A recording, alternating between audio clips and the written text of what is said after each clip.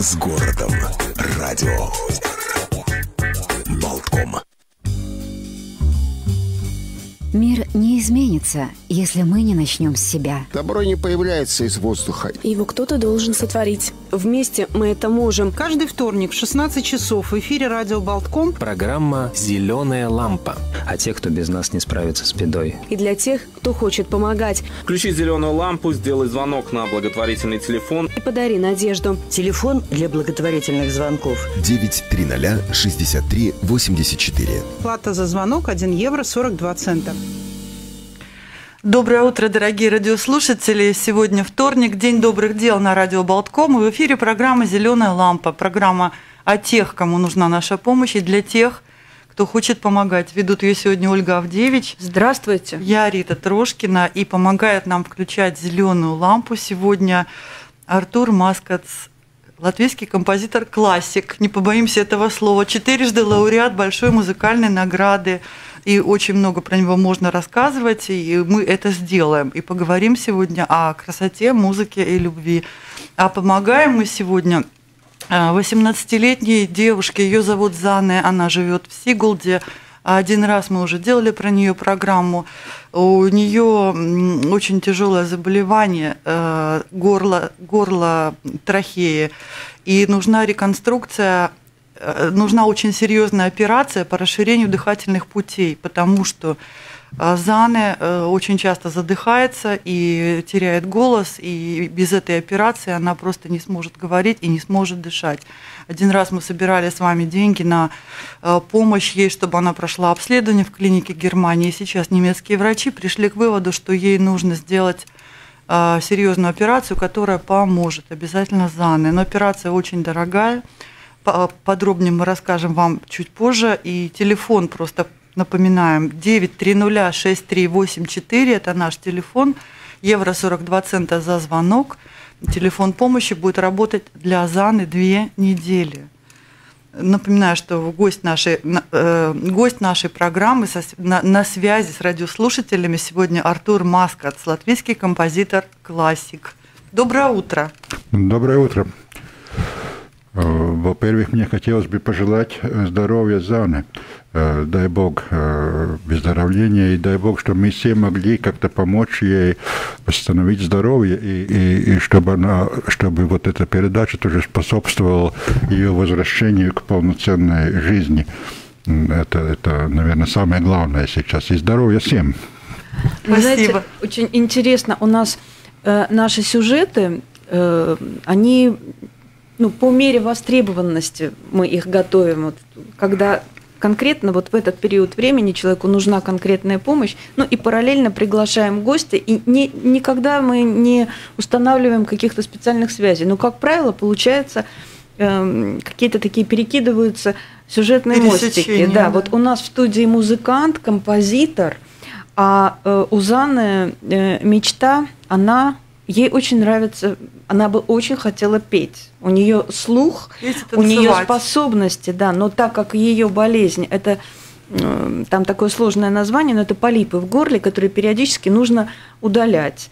И она не может петь, да, но это ее мечта. То есть вот... Ну, ей периодически делают такие локальные операции на, на трахее, на горле, и после чего она учится говорить заново и дышать заново. Очень тяжелое заболевание. Девочка невероятно красивая, она просто какая-то, говорят, у вас все принцессы, но Зана реально принцесса. Она очень красивая девушка, ей 18 лет, она очень романтическая, у нее любимое такое занятие, она живет в Сигулде, прийти к реке, сидеть на берегу, смотреть, как течет вода, мечтать. Мы очень хотим, чтобы ее мечта выздороветь сбылась. И Артур Маскац нам сегодня в этом помогает. А вот скажите, пожалуйста, когда вы вообще начали музыкой интересоваться? Вы с этим, с этим рождаются или это как-то приходит? Как стать, вот, как становиться да, как стать композитором? Вот живет, живет человек и вдруг Я не знаю.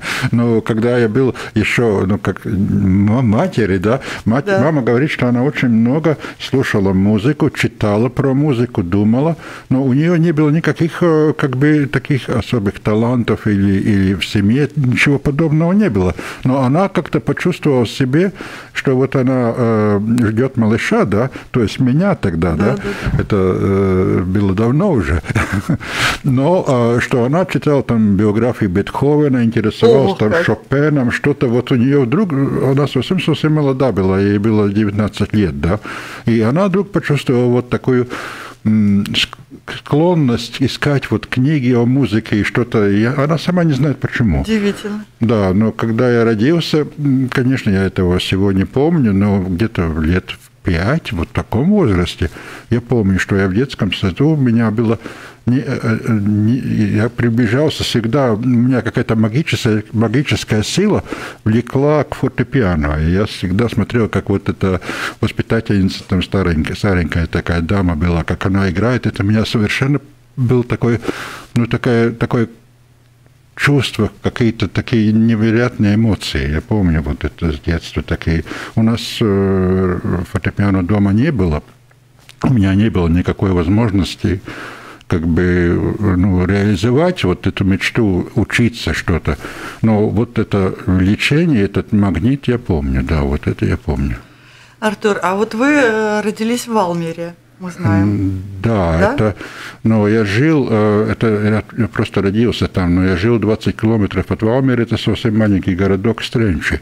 Стренчи. Это в сторону Эстонии еще, и там прошло мое детство, и там я начал учиться и музыке, и, и потом уже в Валмере я учился музыке в детской школе. Вот в музыкальной школе, где вы учились, сто лет исполнилось, да? Да, более, что, недавно, лет. Да, да. А вам в прошлом году присвоили звание почетный житель Валмеры. В этом году это в было. Этом?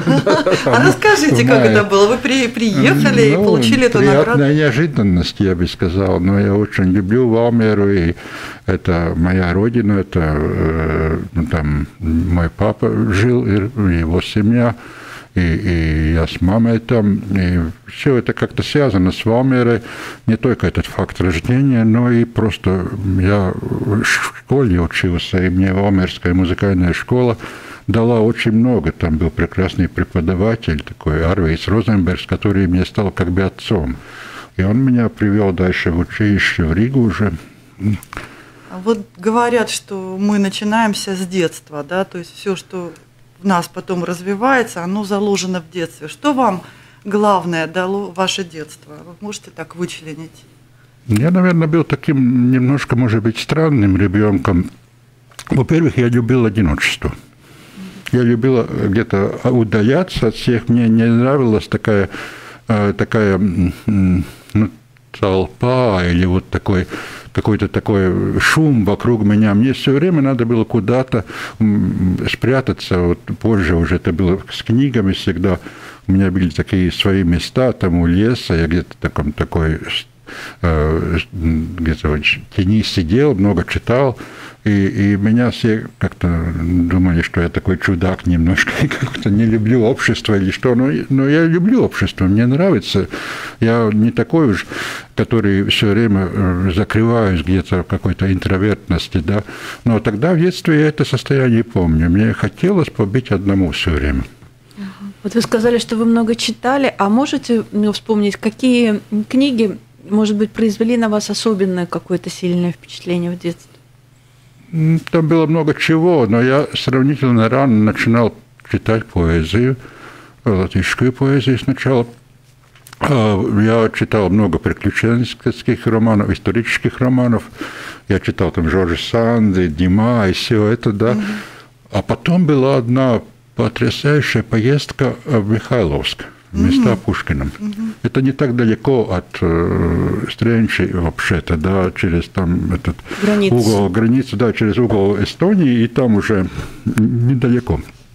Была такая экскурсия, в которую я, меня там мама, ну, как бы посадила в этот в автобус, mm-hmm. да, и я вернулся оттуда и начал искать Пушкина. Mm-hmm. И, конечно, нашел в местной библиотеке и начал читать в оригинале. Это меня сразу очень увлекло. Это был какой-то внутренний переворот. переворот. Я помню это. Мне было лет 14, может быть.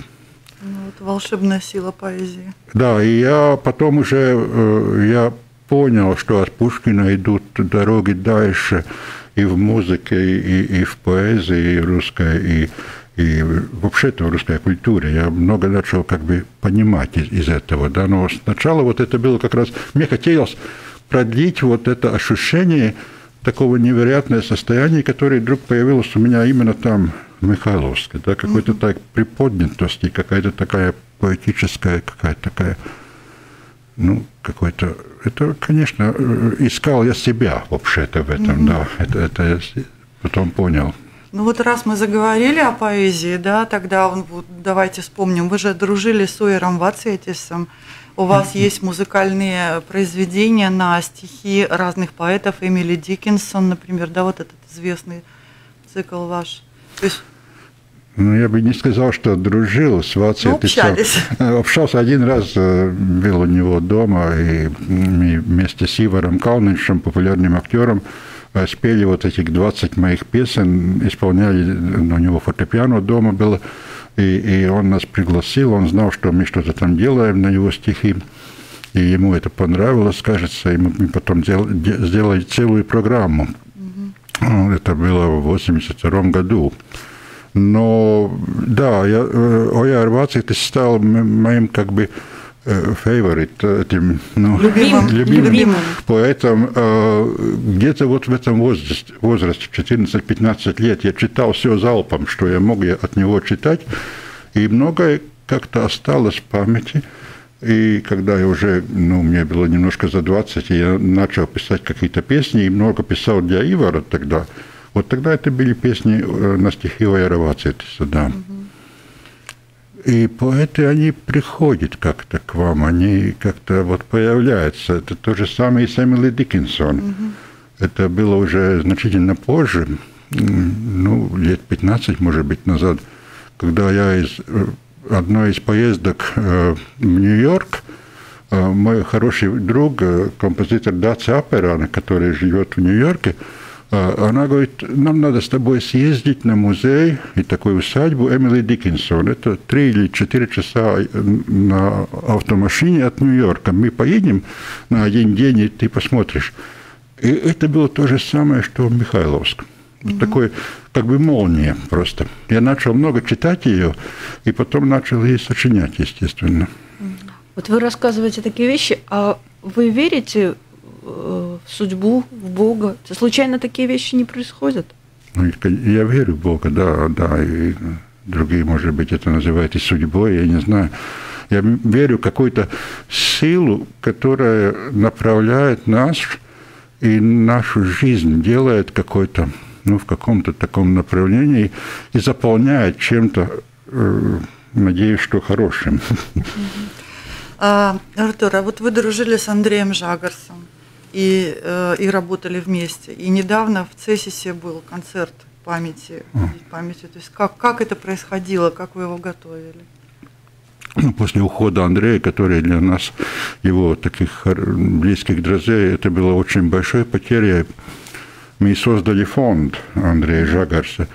И я очень рад, что я в этом фонде, я как бы за такие художественные как бы ну, в память Андрея, э, но в то же самое время мы обязаны что-то вот не только напоминать о нем, но и давать, как бы почувствовать те ценности, которые он так любил и которым он ориентировался. Это высокое такое искусство.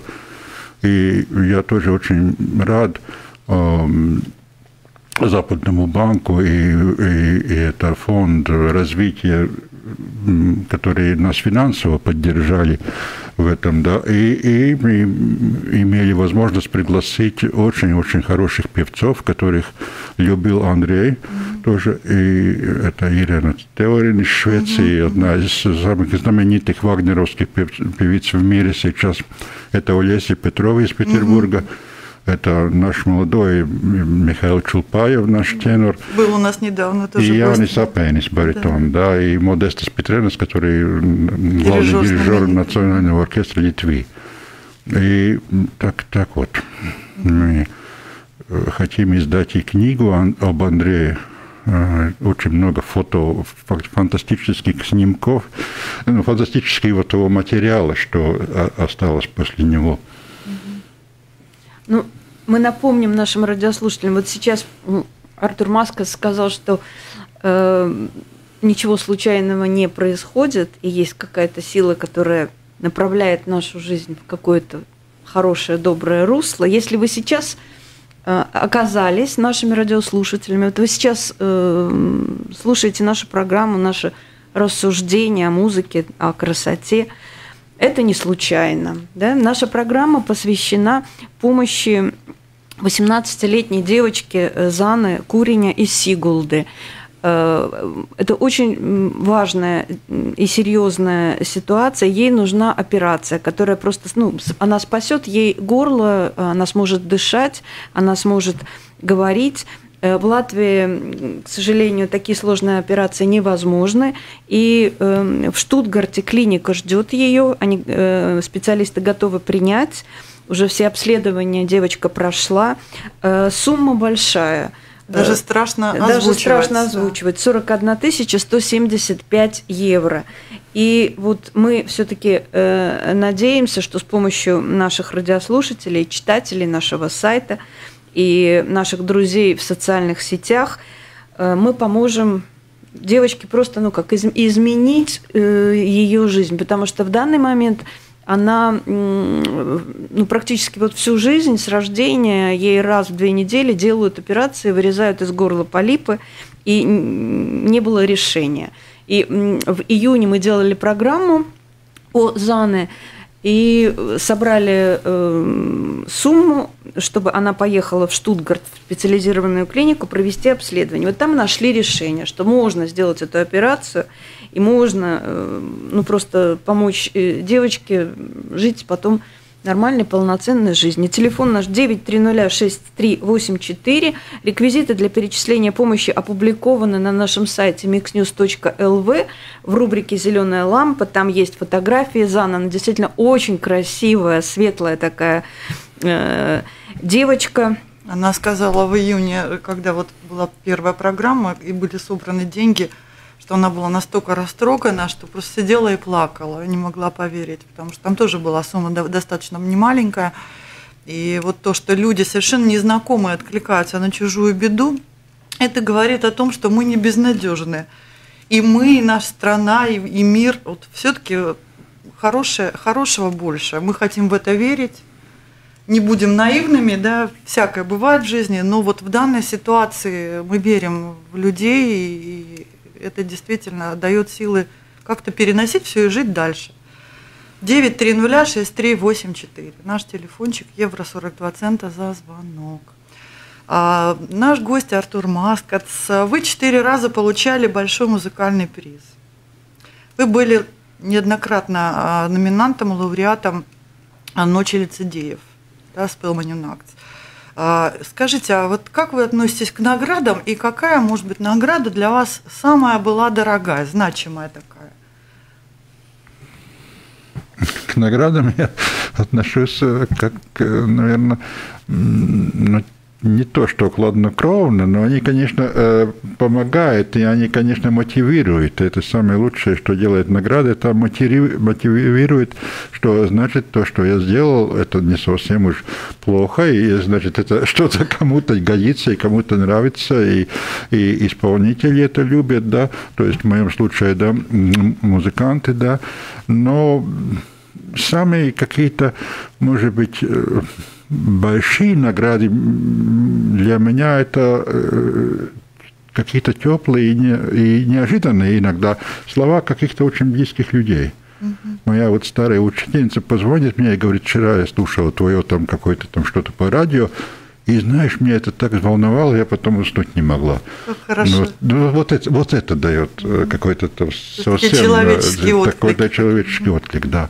Угу. Это, это, это что-то для меня больше значит, чем официальные какие-то речи и какие-то вот... Э, конечно, вот сто... на рояле дома стоят эти четыре статуэтки серебряные, это, конечно, приятно, да. Но, но это только как бы мотивации работать дальше, я вот так это воспринимаю. Ну вот Раймонд Паулс очень высоко вас оценил и сказал, что как композитора он вас считает одним из лидеров серьезной музыки сегодня, нашей музыки сегодня. И это он говорил о вашем произведении о танго, которое вышло в финал третьего международного конкурса симфонической композиции в Лондоне, да? И скажите, международное признание вот танго завоевало. А почему танго? Откуда появилась вообще вот эта тема? Ну, спасибо, во-первых, спасибо Раймонду Паусу. У нас очень такие теплые отношения с ними. Я работал вместе с ними над э, и аранжировками его произведения. Я его считаю одним из самых-самых великих музыкантов не только Латвии, но вообще, что мы живем одно время с ним и что он творит. А танго, ну, мне всегда вот как-то влекла поэзия танца, я так бы сказал. Есть музыканты, которые, которые э, говорят, что в моей музыке непрерывно, даже если она не танцевальная, если она даже не производит каких-то танцевальных элементов, то вот эта внутренняя энергия танца всегда ощущается, даже в каких-то э, совсем других жанрах, да, и в том числе академических, да. И э, что вот это, я как-то сам себе понял, э, вот в себе эту э, энергию, это может быть возможность выразить себя через музыку, которая тоже дает движение какое-то. Вот и танго возникло, да, был, э, был заказ национального оркестра, но не было конкретной теме. Вот симфонические произведения и большой состав, минут 12-15 сделай что-нибудь, да. И я помню, что мы вместе сидели с Аллой Сигаловой, которую я очень уважаю, мы сидели на концерте в Латвийской опере Гидона Кремера. Он играл Пиацолу тогда. И я говорю Алле в антракте, что мне надо написать симфонические произведения, может быть, это будет танго. Она говорит, танго – это для небольшого камерного состава исполнителей. Как же писать для большого оркестра? Я говорю, я для большого хочу.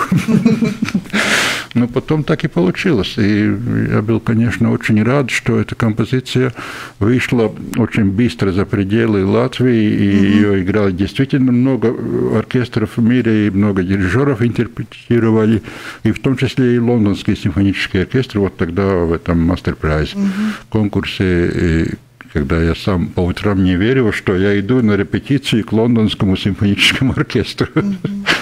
Это было, конечно, очень волнующе. Вот э, вы нам рассказывали, что у вас был план поехать в Чехию, потому что э, там тоже ставят ваши произведения. Прямо сейчас. Там идет э, балет э, сейчас в острове. Был он в Брно, э, балет «Опасные связи». Перед тем был он в Большой опере Познани в Польше. Так что я радуюсь, что вот этот, эта композиция тоже, тоже вышла, и она полностью ставится вот в таких балетных театрах с оркестром, со всей труппой. Это, это очень-очень-очень приятно. И я благодарен, конечно, первой команде постановки этой, которая была в нашей национальной опере, это хореограф Кшиштоф угу. Пастор и танцовщики, которые вот в первом составе были, это самая любимая моя команда, это Алексей Овечкин, угу. это Элза Лейман, это Сергей Некшин, вот это, это, вот это, это очень, очень для меня дорогие воспоминания. Вы открывали гастроли э, латвийской оперы в Москве с этим спектаклем, да? Да, такой тоже был, да. В 2006 году. Такая да. очень хорошо критика вообще оценила это все. А почему опасные связи? Как этот сюжет да. вам пришел? Ну, я понял, что если было предложение из руководства балета делать вот э, на целый вечер такой спектакль, и я понял, что надо выбрать какой-то сюжет, который был бы таким ну, культурной ценности уже нашей такой mm-hmm. истории культуры, mm-hmm. да, и который был ну, в каком-то хорошем смысле и популярным, не бояться этого слова, да, и вот э, это, этот сюжет, этот роман Шадерло де Лакло, он давно, с 18 века, mm-hmm. да, он ну, действительно э, стал таким классической ценностью, и прекрасный фильм на этот сюжет, ну, хотя в балете копировать фильм абсолютно невозможно, это другой жанр, и хореограф был Кшиштоф Пастор, и он тогда жил в Амстердаме. Я прилетел к нему, и мы сидели по вечерам и думали, что это может быть. Из чего мы это сделаем. И пришли вот к этой мысли, что вот это опасные связи. Это также была идея Кшиштофа, как и моя. А вот, знаете, очень хочется спросить э, про вашу оперу, про Валентину которая основана на реальных событиях. Она, когда была поставлена, вызвала очень много обсуждений, действительно стала событием. И как вы взялись за такие тяжелые страницы истории? Это тема Холокоста и любви, конечно, да, но в первую очередь вот слом, слом на сломе эпох, Холокост, гибель интеллигентной семьи. И вот Валентина, это реальный персонаж, Валентина Фреймана, это легенда латвийской культуры, искусствовед знаменитый, которая жила в Берлине. Почему вы взялись именно за эту тему? Я видел через судьбу Валентины, которая стала мне очень дорогим человеком, и я бы мог взять смелость на себе сказать, что мы стали как бы друзьями, да. Mm-hmm. Я знал ее давно, она была прекрасным преподавателем истории театра и кино mm-hmm. в молодости, когда я учился еще в консерватории, да. И очень она повлияла на судьбу многих латвийских актеров и, и их таких вот их уровня и ценностей, да, и мне все это было очень близко. Но я не знал тогда вообще о судьбе Валентины, что ее судьба и ее семьи э, во время Холокоста э, э, и во время вот этих исторических переломов истории Латвии, что она вот настолько глубоко ее ну, тронула, и настолько это вот было с ней вот все, все напрямую связано, да. И когда я узнал это, я как-то почувствовал в ней, что это вот и есть Латвия. Вот это есть. Угу. Вот это та сила и вот этот перелом власти меняется, вот это э, то и другое, и приходит такая авторитарная система, потом другая авторитарная система. Вот как она через все это проходит, и остается такое позитивное и такое светлой, и, и э, она всегда очень любила жизнь, и она прожила больше, чем 90 лет, 95 угу. почти, да. Угу. Вот э, в феврале сейчас следующего года, вот через несколько месяцев будет ее столетие. Угу.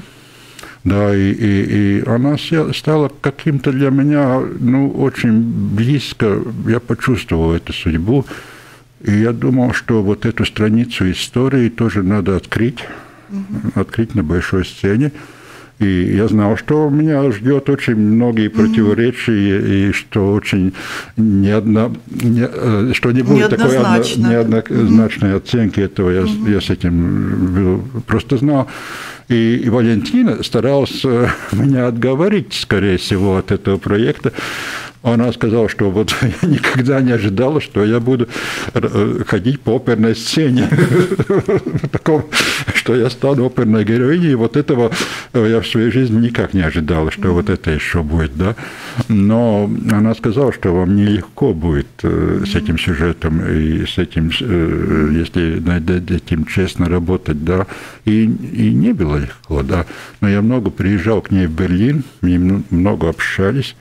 Э, я стал как бы постоянным гостем ее э, ее квартире э, в Берлине, поскольку в последние годы жизни она в Ригу почти уже не приезжала. Ну, какие-то последние 6-7 лет она не приезжала уже сюда. До 90 лет она еще полгода жила в Латвии, полгода в Риге, полгода в Берлине, да. Ну и так это она доверила мне свой манускрипт этой книги, когда эта книга еще не, не угу. была издана. Рукопись, ага. Да. Э, и, и мне это все очень много означало для меня. Ну вот можно цитату зачитать, да, как писали о, о вашем спектакле. Требуется весь могучий гуманистический талант Артура Маскотса, чтобы объединить эмоции зала, вовлеченного в нескончаемый диалог с сюжетом, и направить все это к свету. И то, что в итоге удается, невероятное достижение. Валентина – это о том, что жизнь не кончается, и тогда, когда в конце туннеля гаснет свет, нужно только любить. То есть какой главный месседж вы вкладывали в вашу Вот музыку? это, наверное, вот это и сказано, что любовь – это самая высшая сила, она нас двигает и даже в самой вот как бы ситуации, когда кажется, что выхода уже нет, а сколько в ее молодости было таких ситуаций, да, и она прошла через все это, и она верила в людей всегда. Любовь в э, таком широком гуманистическом да, смысле. Да, и она э, никогда в ней не чувствовалась в общении с Валентиной, не чувствовала, что она обижена на судьбу или вот что-то, ну, такая, такая, ну, что у многих пожилых людей вот mm-hmm. надо ворчать, что вот то да. не было, то не было в жизни. У нее почти ничего не было. Mm-hmm. Она поднялась и после войны начала опять учиться, поступила в университет, потом поступила в ГИК в Москве, в ГИТИС, да. Расскажите, как вы попали в сотрудничество с русским театром, с нашим рижским? Это прямая связь какая-то. Бывший директор русского театра Эдуард Цеховал, я очень уважаю этого, этого интеллигента и, я бы сказал, духовного аристократа, да. Он посмотрел спектакль «Валентина», а, вот как. Да. И решил меня пригласить на такой проект, на поэзию Райниса и Аспазии. Тогда было 150-летие, это был 2015 год. И они ставили спектакль очень интересный по своему замыслу с главным режиссером театра Игорем Коняевым на стихи Райниса и Аспазии. Притом пришли к такой мысли, что вот поскольку там будут мои песни, то песни будут исполняться в оригинале на латышском языке, а вот э, все диалоги, все, как так, аудитория смешанная, там и русские, и латыши, диалоги все будут э, вестись на русском, да. И я немножко испугался этого всего. Я не знал, что там, как там все будет, я не знаком был с трупой и спросил совет у Раймонда Пауса, поскольку я знал, что он много там работает. Да? Он говорит, иди спокойно, не, не волнуйся, все будет хорошо. Они работают как звери. Он меня как бы мотивировал, да. Я благодарен ему за это, потому что э, получилось, кажется, неплохо, и я очень подружился с этой труппой. И с этой атмосферой русского театра. Мне очень понравилось там.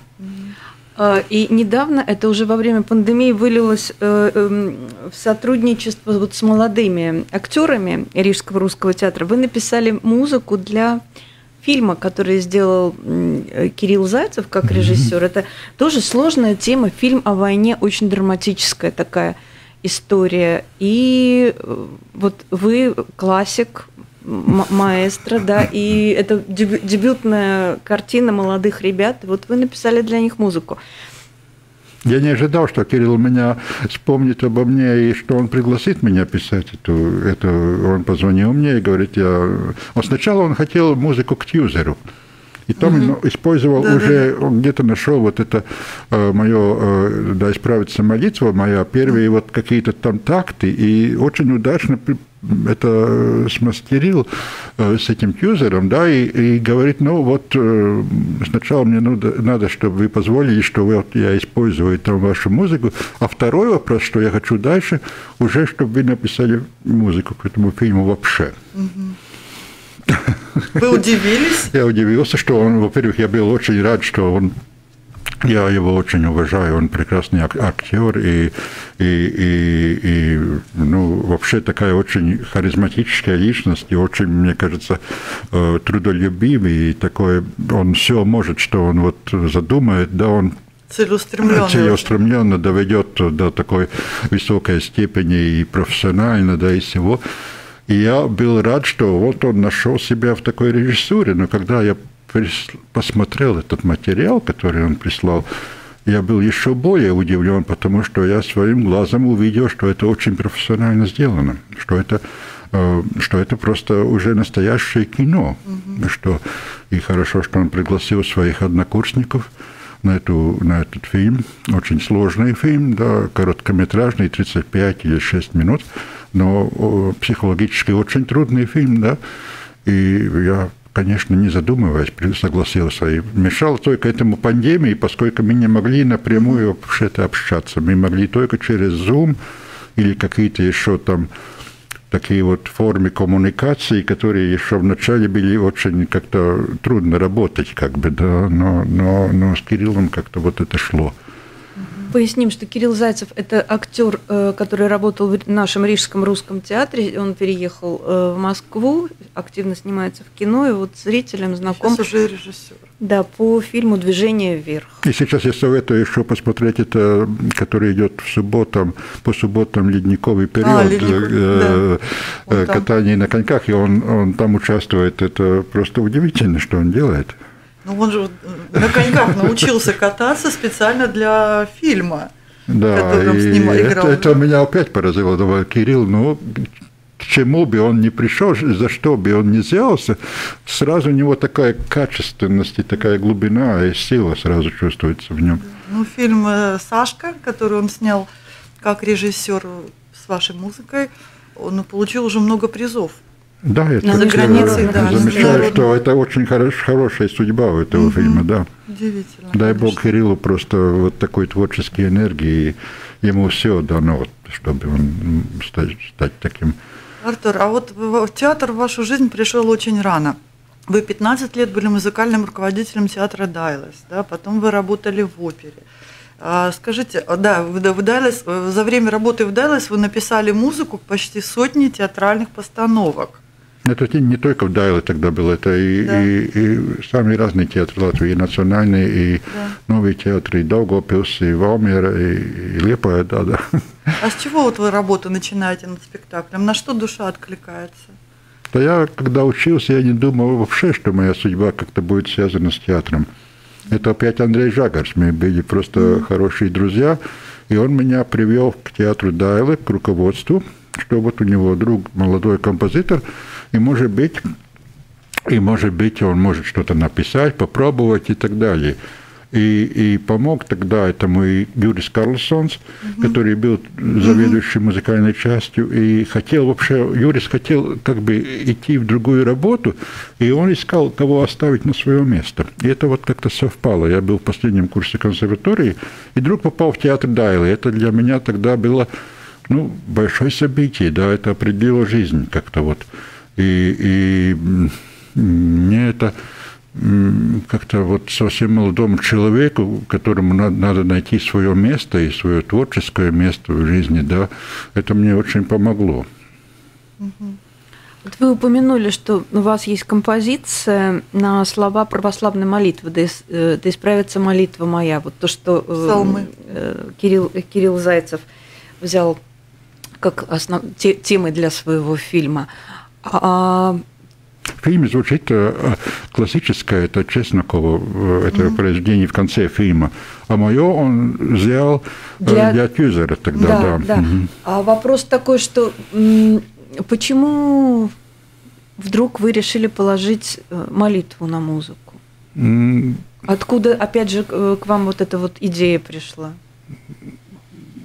Я даже не могу точно вспомнить этот сигнал. Э, я как-то прочел это и понял, что это для, надо мне, для радиохора, с которым я всегда очень много сотрудничал, и очень-очень много э, радиохор делал моей музыки, с Игвардом Клява именно, с дирижером, да, и вдруг я понял, что Сигвард, э, он тоже увлекается православной Э, музыкой, молитвами и, и, и классической православной музыки, ну, там, Рахманинова, он дирижирует Чайковского, да, э, и что вот постараюсь я это сделать. Потом я сделал на стихи Пастернака из стихов доктора Живаго э, на страстное такое большое произведение, mm-hmm. тоже на радиохор. Э, и, и, и оба вот эти композиции, они что-то больше, чем песня. Это какие-то такие, такие излияния души, если можно сказать. Но почему и как, я даже не могу определить. Это как-то пришло ко мне. Ну, хотим напомнить, что сегодня мы, наша зеленая лампа включается в помощь 18-летней девушке Заны. А, у нее действительно очень сложная ситуация, то есть ей э, просто необходима, жизненно важна эта операция, которую ей сделают в клинике Штутгарта, чтобы она могла реально жить вот нормальной, полноценной жизнью, говорить и не задыхаться. То есть мы с вами можем подарить ей дыхание, возможность дышать. Вот такая вот задача непростая. У нас стоит телефон 930 638 930-6384 работает две недели для ЗАНы, потому что очень большая сумма. Мы просим вас поделиться этой информацией по возможности. Счет помощи открыт в благотворительном фонде Be Open, с которым мы сотрудничаем. Никакие проценты с денег, переведенных на счет, не берутся, а номер счета и историю ЗАНы и фотографии вы можете посмотреть на сайте mixnews.lv в рубрике «Зеленая лампа» и также в социальных сетях, тоже на страничке, на Фейсбуке страничка «Зеленая лампа». Еще важный момент, что э, благотворительный фонд Be Open имеет статус организации общественного блага, и перечисление пожертвований, их можно сейчас как раз конец года да, использовать э, для налоговой декларации, для уменьшения и возврата налогов. И частные лица это могут сделать, и юридические лица. Вот. И сейчас как раз, может быть, э, если у кого-то фирмы или компании, которые думают в конце года, каким образом, может быть, направить средства на какие-то пожертвования, вот мы привлек, как сказать, хотим привлечь ваше внимание, что есть 18-летняя девочка, для которой это ну, реально вопрос э, жизни. Важно, да. Да.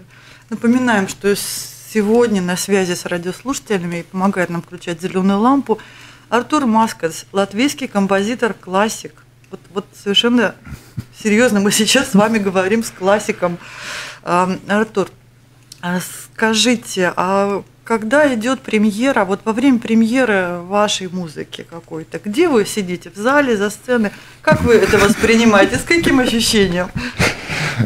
Ну, это довольно ужасное состояние. Правда? Иногда лучше я, я прятаюсь, да. прячусь где-то. Прячетесь? Да, да, да. Я не хотел бы, страшно? что. Ну, не страшно. Я как-то вот это очень странное э, всегда ощущение, потому что я уже помочь ничего не могу там, да, угу. все сделано, что сделано, то сделано, да, чего, что есть, что есть, чего нет, того нет.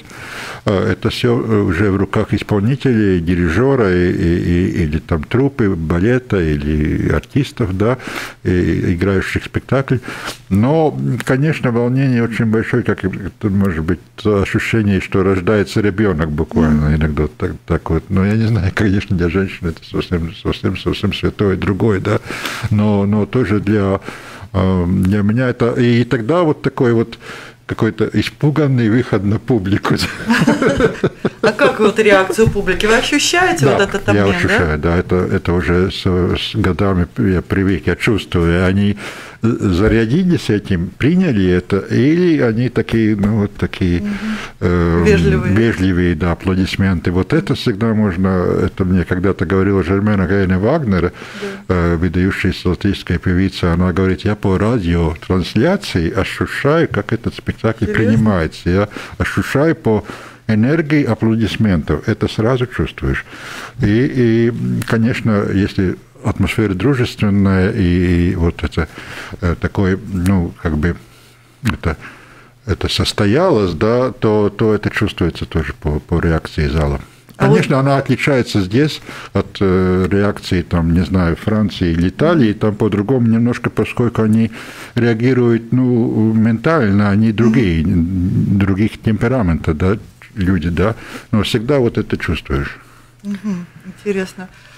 Э, да, наша программа уже подходит к концу. Осталось буквально две минуты. Видите, как быстро все происходит. Еще только начали говорить.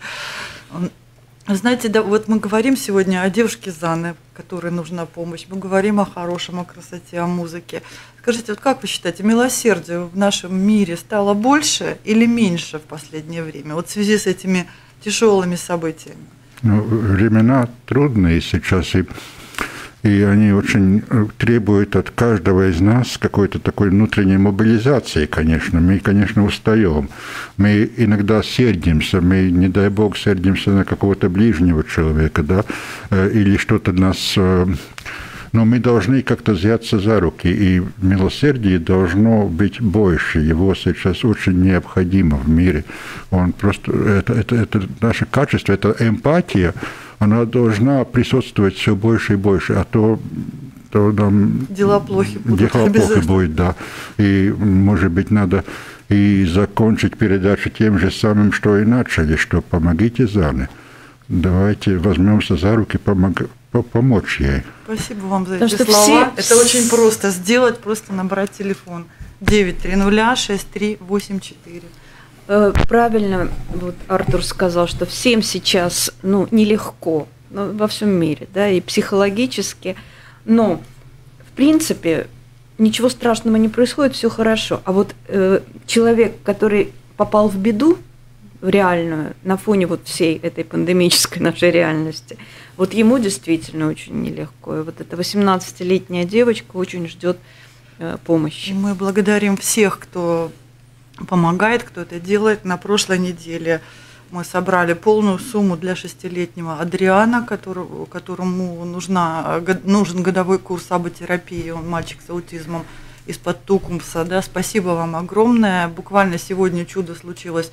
Пришли еще две тысячи евро на его счет, и, годовой курс будет оплачен, и даже еще останется на дополнительную реабилитацию. Нас да, поразило, что эти две тысячи да. это пожертвование от частного лица. Да, дай Бог всем здоровья. Вот такие маленькие чудеса случаются, и когда человек помогает человеку, это, наверное, самое главное.